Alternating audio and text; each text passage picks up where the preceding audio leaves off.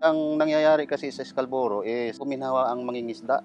Medyo magandang kikitain namin sa isang linggo. Nung nawala yung Scalboro, medyo tagilid.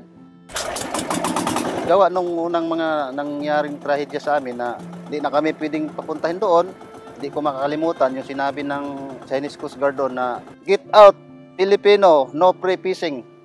Bago sa inabayan na kami ng water cannon nila noon. Kaya parang nagkapubya ako, ayaw kong bumalik na doon.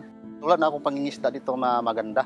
Saan ko kukunin ang pangtustos ko sa pamilya ko, sa pag-aaral, naisip ko na dito na lang ako sa sarili kong bangkang maliit. Medyo nalungkot nga ako na nawala sa amin yung Scalboro.